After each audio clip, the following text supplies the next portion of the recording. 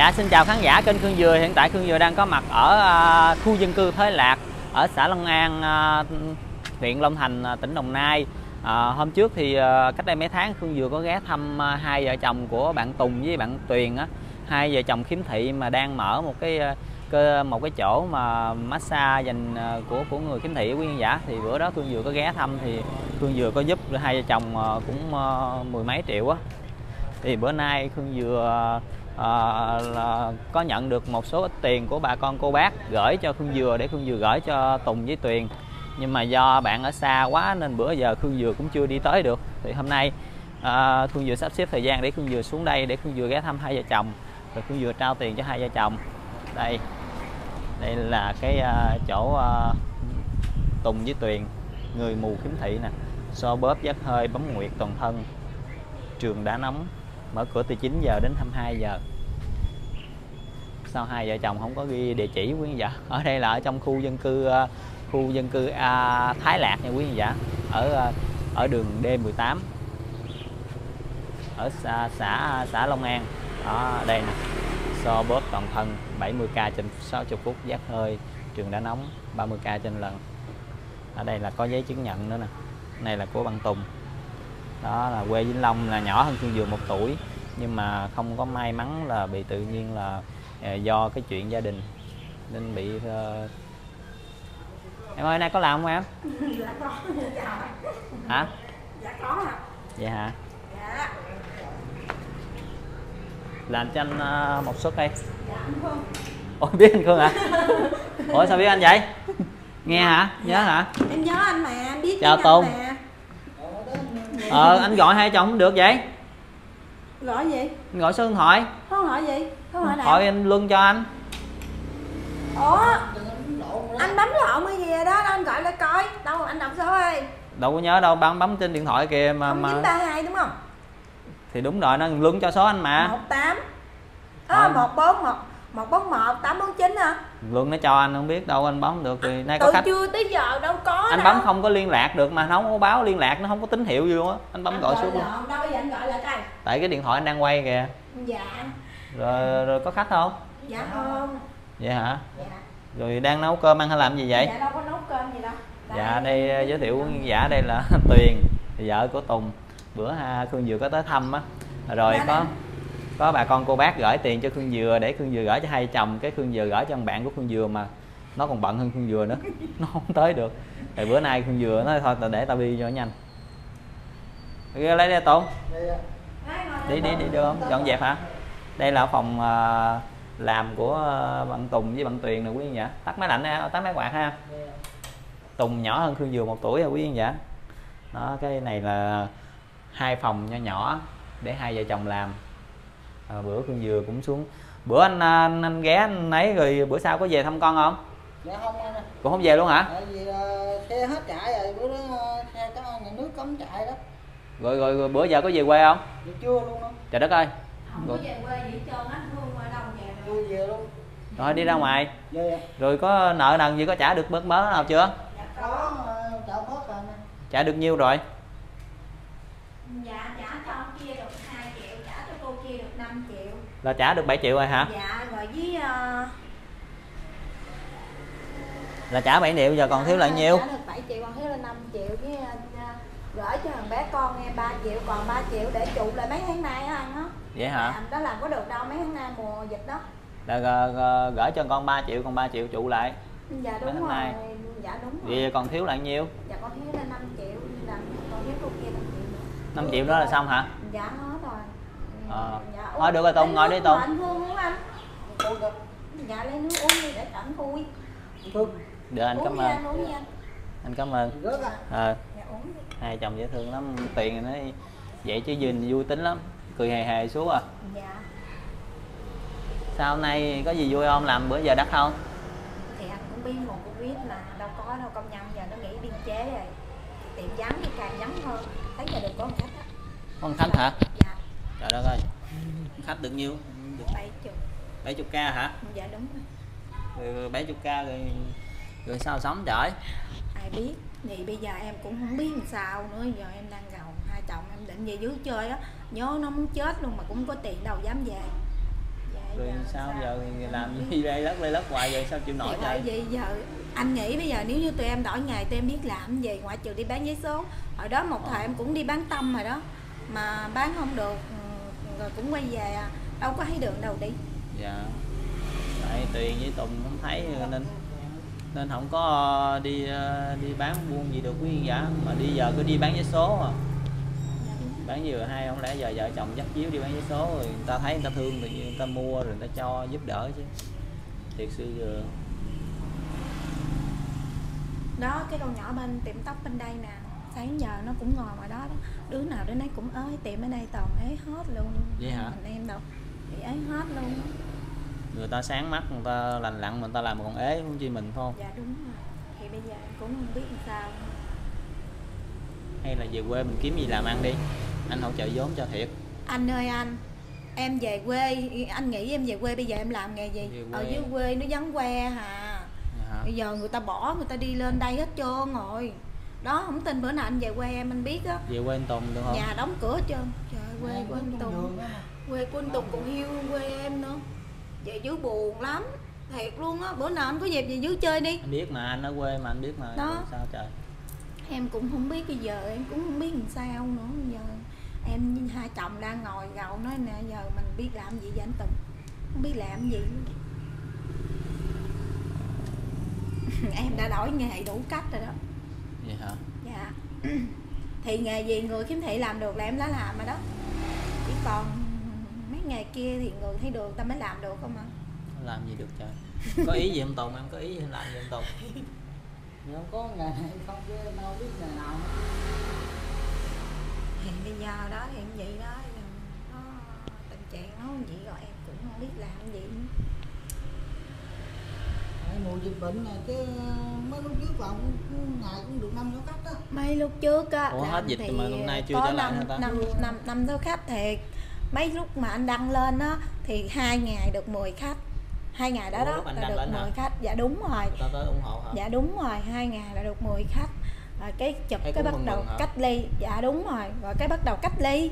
Cách ly á cái bắt đầu ta không dám đi ta sợ người này lây qua cho người kia người kia lây qua cho người nọ cái người ta không đi nữa xong cái nhờ có tiền anh gửi đó đó xong mới mới có tiền trụ lại chứ không có tiền không biết tụi em làm sao. Rồi giờ hết cách ly rồi người ta cũng chưa có đi trở lại nữa hả? Hết cách ly thì tới nhà giảm biên chế giờ công nhân tuần nó làm được có à, bốn bữa gì hả năm ngày gì à công nhân nó còn không có tiền ăn nó lấy gì mình có tiền giờ một suất massage anh tặng trái sầu riêng được không? Một trái sầu riêng tặng ký dầu vô sầu đi cho làm đi cho đã mệt. Trái sầu riêng tặng ký dầu thôi anh tùng làm đi. thôi thôi làm. Nói tận lao làm thử đi cho biết cũng- thôi anh cũng bận công chuyện tí xíu anh qua nhà bên chị bên kia bữa nhà nhà mấy chị mà bị người tâm có tâm thần không á? Ở đâu anh? Ở cũng Long Thành này nè cũng người ta gửi cho được 1 triệu bạc ghé để anh đưa. Nhờ chờ anh lương anh lâu quá. Nên anh ghé sẵn anh đi việc nên anh, ghé anh thăm hai đứa luôn coi làm ăn sao. Mà thấy nó cũng cũng không có khá giả gì hơn. Thiệt tình. Bà vậy là em biết sao. Phải chia ờ, một ờ, một đứa ờ, sáng mắt một đứa kiếm thị thì anh còn kiếm gì cho hai đứa làm dạ được. đúng rồi đó. Thì bây giờ anh nghĩ đi cơ sở người ta lớn thiệt là lớn mà người ta vẫn còn vậy lại còn tụi em. Chứ không phải tốt lành gì đâu ba triệu của anh là ông chủ nhà trọ ông giảm cho em được triệu rưỡi á. Mới còn mới mới trụ lại được mấy tháng nay. Giảm cái ông giảm như mùa dịch đó cái ông giảm cho được Tiền triệu rưỡi. Dạ rồi cái bắt đầu nhờ bà con người ta đem lại người ta cho người nghít nít gì đó. Cái sao bắt đầu có tiền chủ tới bây giờ đó chứ không có tiền biết tụi em đi đâu. nó cũng hút thú y vậy ở đây heo hút quá nên ờ, nên không có khách nhiều. Chứ mà thiệt sự thực sự là bây giờ người ta đi mấy cái ờ, dịch vụ này thường thường mấy bạn thanh niên mấy bạn trẻ rồi mấy ông ờ, mấy ông sồn sồn cũng đi nhiều khi đi bậy bạ. Đó. Nên nhiều khi mình làm ăn chân chính mà nhiều khi cũng tật nguyền mà làm nhiều khi không có khách. Bởi vậy đâu có không biết sao cũng muốn nghĩ cái cái cái cái, cái ý gì để cho hai đứa em làm á. Dạ. Đúng để ờ, để có tiền chứ mà làm kiểu này cầm chừng hoài biết sao được. Sao có tiền rồi lỡ xui rủi anh nói chứ xui rủi rồi bệnh hoạn rồi sao? Dạ đúng rồi rồi. tiền bạc đâu mà mà Ừ, thuốc thang gì. Thì đúng rồi đó. Ngay cả về dưới thăm con mà còn không có tiền về nữa đây mà tiền bạc thì, hỏm gà mấy tháng gửi cho nó được 3 triệu đi là mấy tháng rồi đó. Nói chung cũng cũng hết rồi chứ cũng đâu còn không đâu có trụ đâu dành dụm gì đâu. Người người vậy. ờ, người ta khỏe mạnh người ta đi làm người ta lành lặn người ta dịch người ta còn sắp bắt sang bang huống gì mà hai đứa em. Chiều cơm nước gì chưa? Dạ chưa. Thì nhà em nấu cơm để đó đó chưa có ăn. Ăn ờ, ai đói thì tới ăn hả? Chứ không có ăn chung một không lượng ăn chung lần hả dạ. Có nghĩ ý gì không? Có nghĩ ý gì ờ, anh xin ờ, tài trợ rồi cho hai đứa làm? Chứ giờ thì sự giờ ờ, giờ gửi cho hai đứa em năm bảy triệu gì cũng chắc cũng xây sở cũng cũng hết rồi phải không? Dạ đúng rồi. Nhưng mà bây giờ làm á thì bây giờ tụi em chỉ biết cái nghề này thôi à không có làm được cái gì hết trơn á. Dụ bây giờ mình buông cái này ra mình đi làm mướn thì anh nghĩ đi mình làm mướn cho người ta thí dụ như mình không thích đó à, thí dụ người ta vô ta đòi cái đó mình không thích làm cái đó mình cũng phải làm tại vì mình làm thuê còn nhưng được có cái là ở đây á, em thích làm thì làm em không thích làm thì thôi. Hồi bữa cái ông kia ông lại ông mình đòi hỏi xong cái em nói không ở đây em không tiếp hàng khách đó xong ông bỏ ông đi. Thì được tại mình làm chủ mà còn làm mướn là vậy á. Chứ cũng được làm chủ không? Nhưng mà chuyện ế quá. Làm chủ như vậy cũng như không. Được mốt rồi làm rồi cũ lại. Cũng gì? Em đi làm bán giấy số Cái số số nữa hả? Trời ơi thôi đi. Ngày đó giờ ngồi ngồi không bán ờ, ngày đó không giờ đâu ai mà. mua luôn nữa. Không ai mua luôn nữa chứ đừng nói bán không được không ai mua luôn. ngồi con chỗ á Ờ, con chỗ chứ thằng số xấu nữa chứ không ờ, mà em em em em nghĩ em nói cho anh nghe nè bán phải không? Ai muốn lấy thì lấy ai muốn trả tiền thì trả không trả thì thôi. Tụi em mắc hoài luôn. Bởi vậy. Mắc hoài luôn.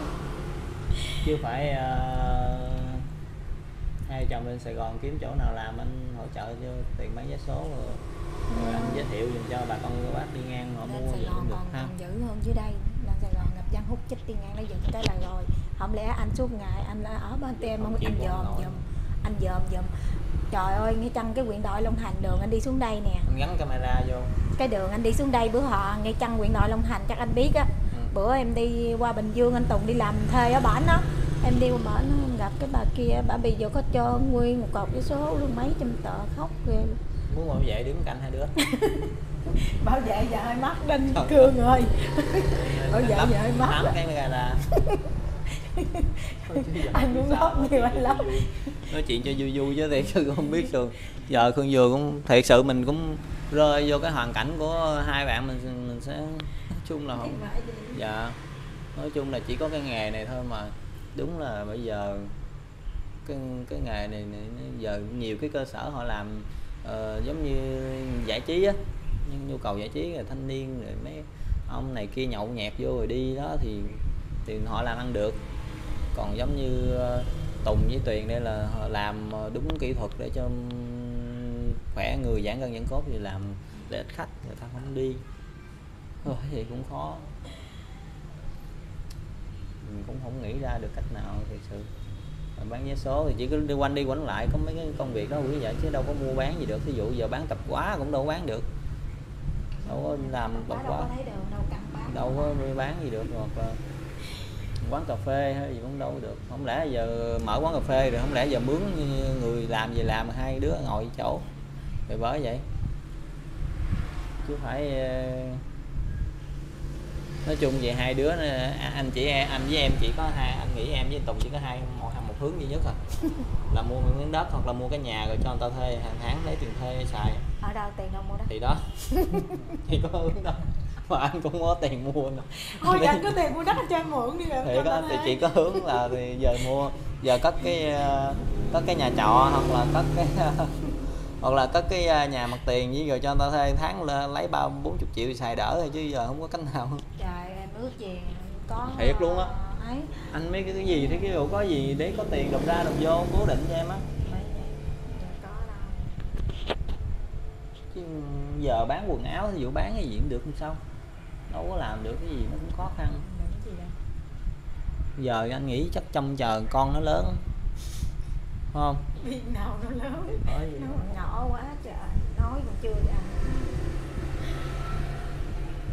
Giờ không biết sao. Rồi chiều nay ăn cơm nước gì? Tùng em phải đội nón suốt vậy hả? Cởi ra đại đi đâu có anh anh đâu sao đâu. Anh biết rồi nhưng có anh đâu sao đâu đội ngỡ hầm không? Không á. Cởi ra đại một xíu đi sao đâu? Ta nói tới ngày vậy đó. Phải tùng phải đội nón với lại um, sụp sụp của quyên dạ cho cho khách đừng có thấy. Đeo kiến với thứ hai là phải uh, phải mặc áo tay dài được đó quyên dạ thấy mặc áo tay dài suốt phủ suốt vậy đó.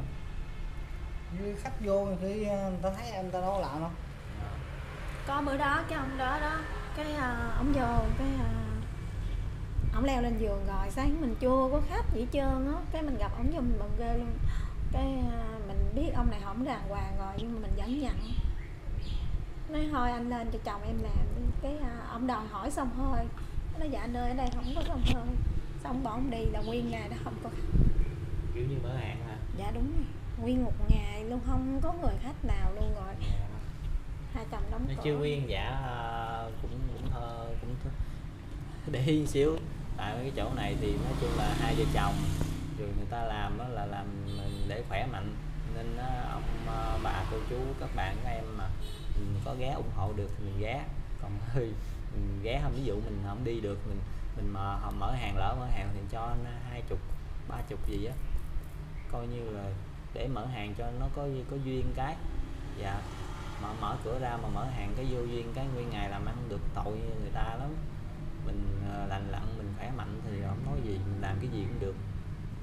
Đi mừng thuê mừng mướn thì làm hồ mình sống cũng được đi bán vé số cũng được.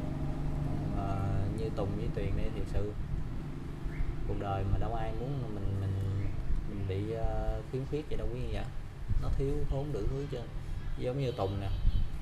Thì thiếu thốn cái gì cái cái khiếm thị không nói gì nữa mà về, về ngoại hình nữa bị sẹo vậy đó. Nó nên phải đeo xuống tuyền tuyền thì nó ờ, vui vẻ dễ thương nè. Đó. Cũng, ờ, hai vợ chồng khiếm thị.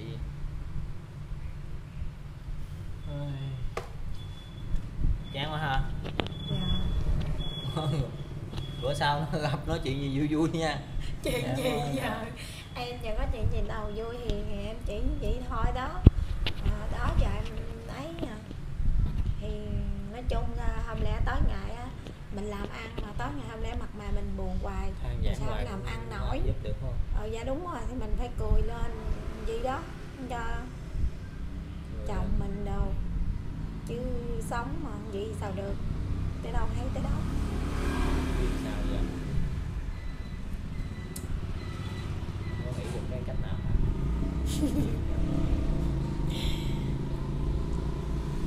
giờ lan bạc ngoài đường thì cũng không được mà ở trong nhà thì cũng không được chứ Vâng. phải ờ, hai vợ chồng mà làm được cái gì thì giờ cơ sở tụi em cũng có rồi Dạ, cũng đây đúng cũng ổn rồi.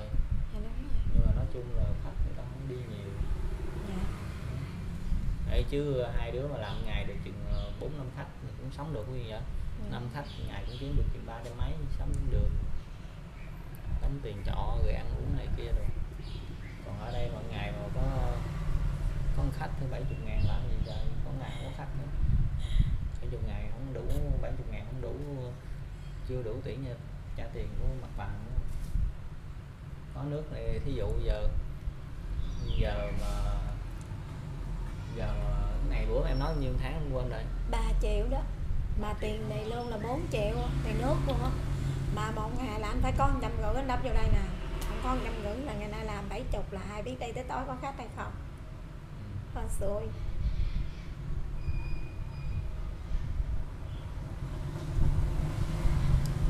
nghĩ sao thôi bởi vậy Phương Dừa cũng Phương Dừa cũng có ý cũng Phương Dừa cũng muốn giúp. Như về ví dụ về quê cũng không có chăn nuôi không làm gì được không có gì đâu. Ừ. hai chồng đâu có chăn nuôi đâu làm gì được. Không có cái gì làm được. Phải có cái công việc gì mà nó nó làm được Phương Dược cũng hỗ trợ để cho hai bạn làm để có thêm thu nhập. Ừ.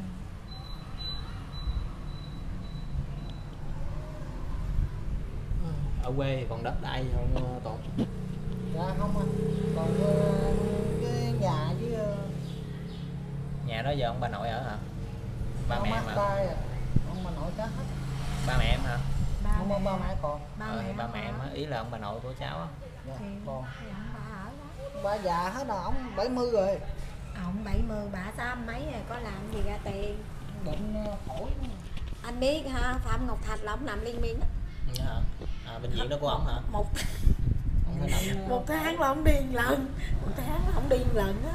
Tháng nào cũng đi hết trơn á. Là là thì phạm phạm ngọc thạch đó. Yêu cầu đi lên là tao biết bà ông mà. Ông bị phổi á phổi viêm phổi mãn tính đó nên á, lâu lâu tụi em làm thí dụ có tiền thì cũng gửi về phụ. Còn không có tiền là thua. Trời. Ừ.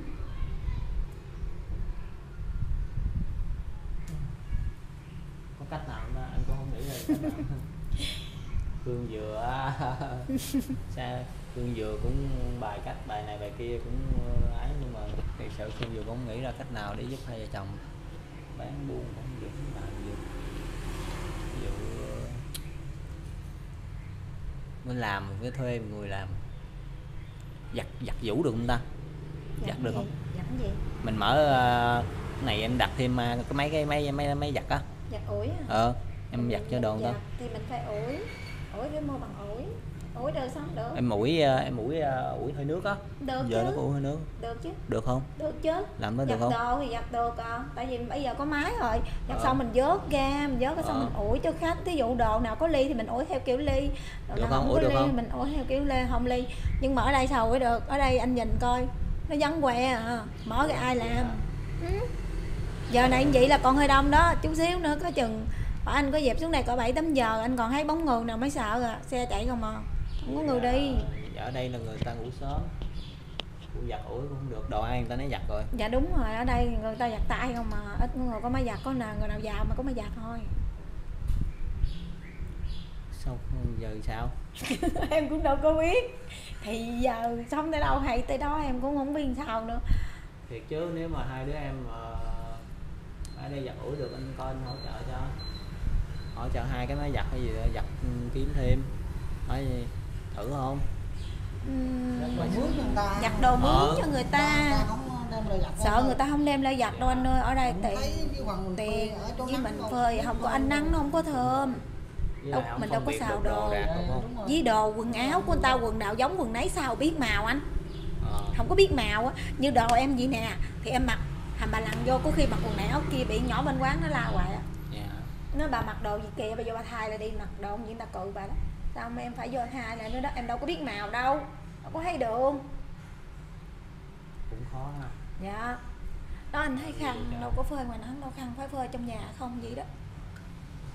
Phơi đồ đây hả? Dạ đúng rồi đó cái xào khăn đó. Như không có đi ra ngoài đường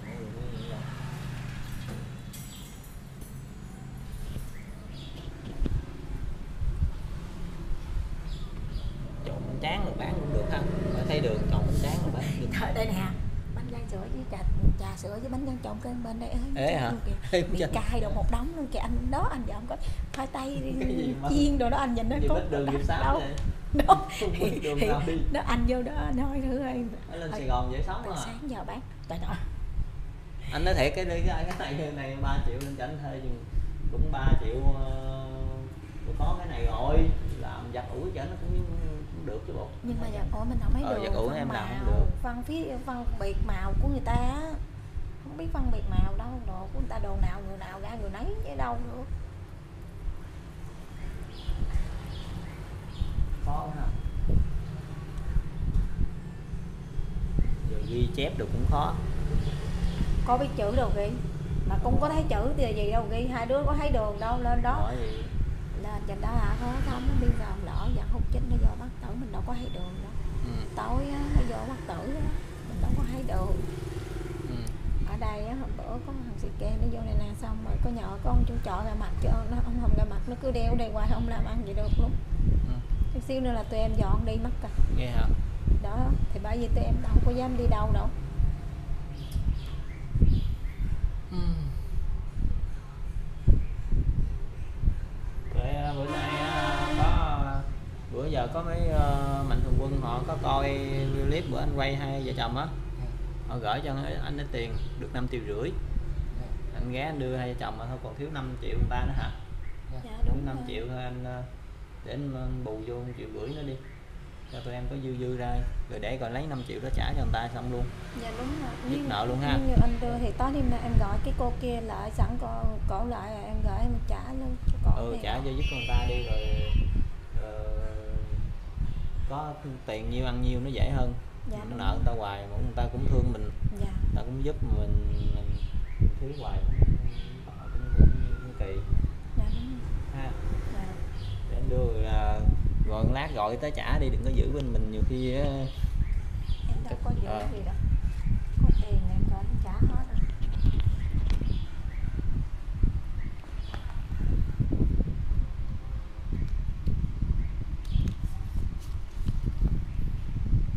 Đây là đây là đây là 5 triệu rưỡi 5 triệu rưỡi người ta gửi 5 triệu rưỡi 1 triệu 2 3 triệu 4 triệu 5 triệu. Với lại anh ờ, anh anh, anh bù vô triệu rưỡi nữa cho hai đứa còn dư được 2 triệu. Để xây sở gì cho xây sở. Để trả cho người ta cho xong ha. Dạ nè em cầm đi. Dạ ừ. Ờ. giờ giờ bữa giờ nói chung là nói chung bà con cô bác cũng thương vợ chồng cũng có giúp ít nhưng mà không được nhiều nhưng như vậy cũng quý quý vậy dạ? tại vì cũng nhiều hoàn cảnh mà cũng vừa quay nhiều quá. Rồi nhiều khi có hoàn cảnh này bà con cô bác giúp còn nhiều khi hoàn cảnh kia nó bị trôi qua bà con cô bác không biết không có giúp được. Mình cũng không có nói chứ nói chung là phần ai nấy hưởng. Nói chung nhiều người nhiều đứa thì nhiều hoàn cảnh thì được ờ, bà con cô bác xem nhiều giúp nhiều. Còn có nhiều hoàn cảnh thì cũng hẩm hiu lắm. Ờ, không có giúp được nhiều.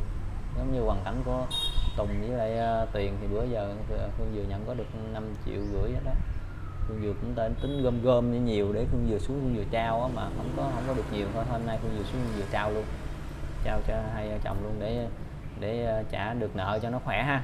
Dạ. anh thấy ờ, nợ nần mà, mà ờ, nó vậy chứ nó cũng mệt đầu óc lắm. Thấy bà bệnh là mình không có tiền trả bà cũng cần. Ờ. tại vì cô ấy đang bệnh nằm bệnh viện hết 3 tỷ mới về mới trời ơi ghê vậy thì giờ 3 bà tỷ luôn hả? thì 3 tỷ đó. Bây giờ bà còn phải uống thuốc hàng ngày nữa kìa. 3 tỷ vậy 5 triệu của em đâu có thấm dữ lắm thì bởi vậy rồi nhưng mà phải trả cho người ta. Trả chứ. Rồi mỗi ngày bà phải uống thuốc nữa. Cũng Ngày tội ha lâu lâu tự nhiên có người thương mình người ta cũng giúp có tiền cho mượn mà giờ tự nhiên bệnh hoạn rồi mốt mượn tiền cũng kỳ phải không? Bây giờ tụi em đâu còn ai nữa đâu mượn bí rồi đó. Hết hết mượn được ai mà đâu còn mượn ai hết tiền thì thôi. Phải có người ờ, có người thương mà mua giúp mượn ít tiền quý vị giả. Mà giờ bị bệnh luôn rồi. Giờ đâu có mượn ai được. Mà nói chung nó cuộc sống này dễ túng thiếu lắm. Cuộc sống của Tùng với Tuyền dễ túng thiếu lắm. mà ở giữa đất khách quê người này mà không có mượn được ai không biết xoay sở sao. Mà mọi thứ cái gì nó cũng tiền bạc tiền bạc hết. Nó bán cái nhà này đi. Anh nói trước khi bán ra ngoài hè hỏi ông chủ ông mà Hả? Ông hỏi có bán nhiều hay sao? Hỏi đâu có chỗ bán không thì anh kêu anh bán lại đi anh bán anh đi mua cho. Anh mua Em gì? đỡ hết tiền. Anh mua gì? Mua 2 triệu đồng được không? Được em bán cho anh đó. Khổ quá thiệt tình. Tiền được cái vui tính. Nói chuyện vui vui vui vẻ kệ nó chứ giờ cuộc sống nó vậy rồi sao cũng như vậy không nói giờ cấm mặt rồi ôm nhau khóc hoài. Suy nghĩ tiêu cực cũng không được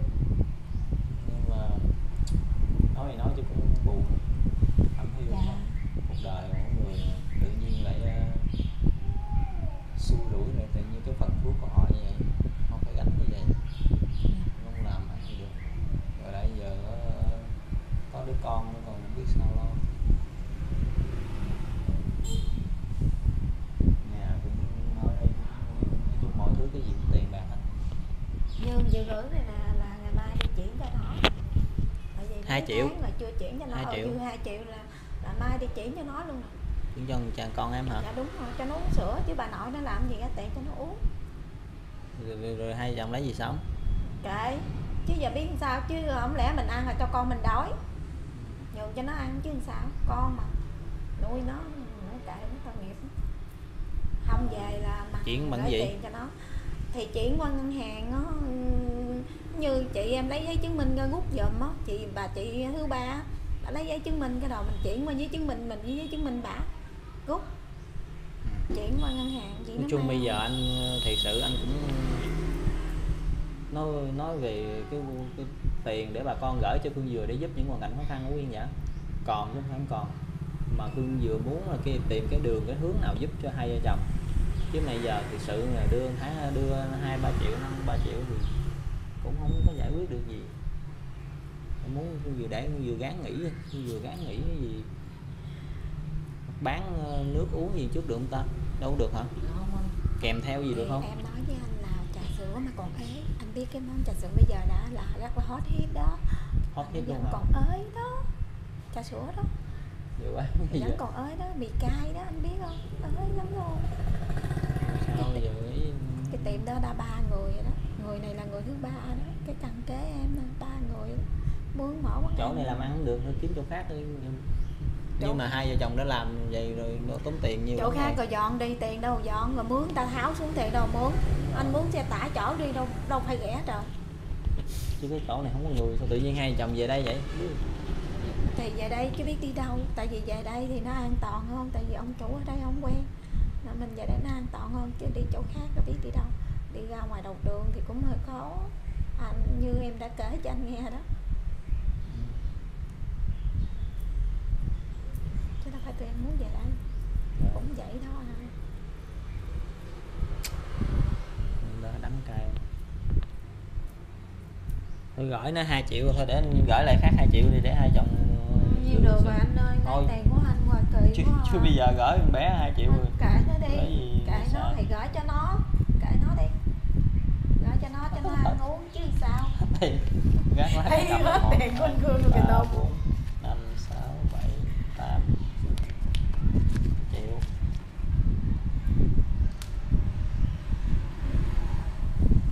Thôi này cầm triệu đi rồi lát anh ra anh, anh, anh, anh mượn thêm. Tại tiền mặt không đem nè Vậy thôi gửi dự đại đi.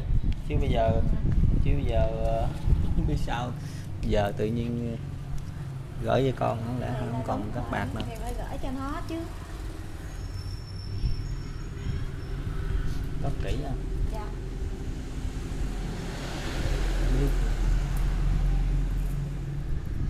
Phương Dừa cũng ờ, cảm ơn bà con cô bác rất là nhiều cũng đã thương hai vợ chồng cũng gửi tiền cho Phương Dừa để Phương Dừa đi giúp hai vợ chồng. Ờ, Phương Dừa cũng đang nghĩ cái ý gì đó. Bà con cô bác ai có xem cái clip này ai mà ở gần đây có cái cái công ăn chuyện làm gì mà nó phù hợp với hai vợ chồng á. À, nhớ gợi ý giùm Phương Dừa gợi ý giùm Phương Dừa ở ờ, comment ở bên dưới cái Phương Dừa thấy cái ý nào được Phương Dừa ừ, còn ít tiền mà bà con cô bác gửi Phương Dừa đi giúp á thì Phương Dừa sẽ coi như hỗ trợ cho hai vợ chồng ít để hai chồng có cái gì đó làm ờ, tháng nó nó nó, có thu nhập nó ổn định như vậy. Cái này không vô chừng quá mình không biết được. Khách họ tới thì làm có tiền không tới thì thôi đâu biết đâu mở cửa còn ví dụ có cái gì nó ổn định ví dụ mặc dù hơi hoặc kèm theo á ví dụ như là vừa làm ờ, massage rồi vừa làm cái gì nữa kèm theo một tháng kiếm được chừng hai ba triệu thì coi như cái đó nó cũng có cái dư để hai vợ chồng nuôi con. Chứ thực sự bây giờ giờ tôi vừa chưa có nghĩ ra. Dạ cũng cảm ơn bà con cô bác rất là nhiều. Cảm ơn ờ, bà con đi ờ, tùng với tiền cảm ơn cảm ơn quý vị khán giả cảm ơn mạnh thường quân và cô chú anh chị đã giúp đỡ cho vợ chồng em trong thời gian qua dạ em cảm ơn ạ. Ờ, bữa đó không xuống không không gửi mấy triệu chắc cũng không biết sao qua mùa dịch hả? Dạ đúng rồi không có tiền của anh em đâu có thể nào trụ nổi mùa dịch này đâu. Thì nhờ tiền đó. của anh đó. Rồi làm gì ta? Không không trụ anh bữa nó không xuống rồi sao? Anh không xuống bởi vì anh Tùng mới em mới kêu anh Tùng nhắn tin cho anh Lưng đó. Thấy ờ, người ta lên lên ờ, lên đài đó giờ Covid tới rồi đó. Rồi ờ, cái bắt đầu em mới nhắn tin cho anh Lương nó anh Lương có chương trình gì cho tụi em tham gia bây giờ tụi em hết tiền rồi. Nói thẳng rồi luôn anh nói luôn rồi cái anh Lương ảnh mới nói là anh xuống đó. Ừ.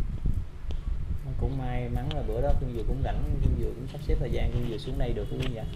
Tôi không biết sao. Thôi nói chung hai dần cố gắng lên nha. Bữa nay rất là Phương Dừa rất là vui khi mà Phương Dừa trở lại ờ, đi con lần trở lại lần thứ hai là mới kêu tiền là tiền cũng nhận ra Phương Dừa rồi. Thôi vậy cũng mừng rồi dạ cảm ơn bà con, cô bác rất nhiều. Dạ chào tạm biệt quý giả. Hẹn gặp lại quý giả trong một video tiếp theo. Cảm ơn ạ.